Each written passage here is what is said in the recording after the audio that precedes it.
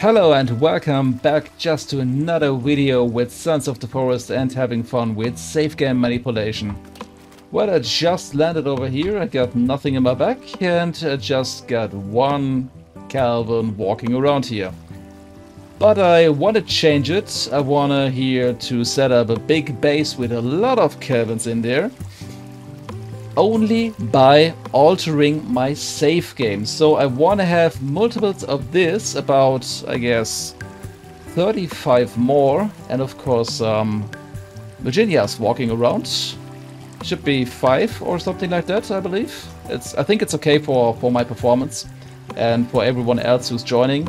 Well, the save game manipulation works with single player and multiplayer as well. I just released a script to do that on GitHub.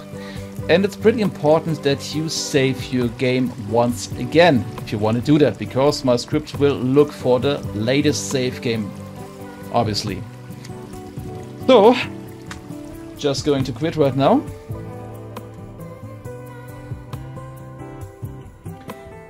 And then head over to my website, sirbash.com there's also my Discord link if you want to provide any feedback or something like that. You can just join my Discord server and then let's go. And of course we get the GitHub link, which is most important for that case. And we are clicking here on Sons of the Forest Virginia and Kelvin Spawner. Well then, on the green button, download zip, it's just a PowerShell, so nothing special. You can of course read the code, it's completely open to you then download it. And after download just extract the zip file. And if you're done with extracting just head into the two subfolders right click on init.cmd save properties and then allow the execution of the init.cmd file.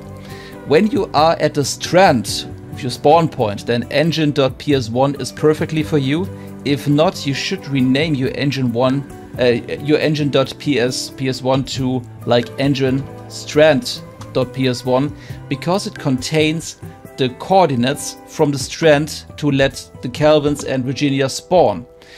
And the forest ps1 has the coordinates just where I currently am, so the spawn point is in the forest.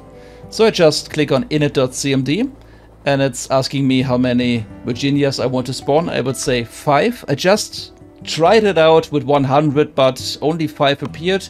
I believe there must be like a like a capacity limit or something like that in the game. I have no clue why, but my save game was so full of them. I have no clue why they didn't spawn. So then I would like to go with Kelvin about 35. Well, Kelvin is very interesting because it doesn't look like it has a spawn limit. So let's go. And as you can see, we got a lot of things added. And here we go. So then, let's head back to our newly created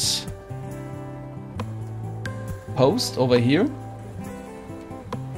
And let's start it.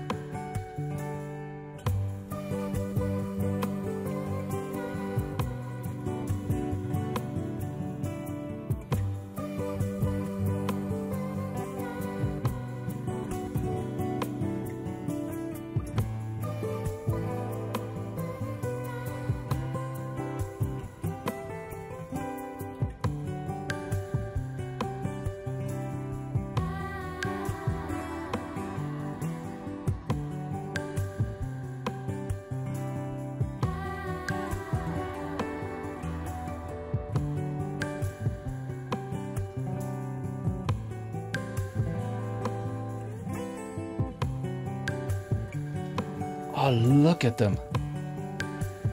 Yeah. One, two, three, four, five.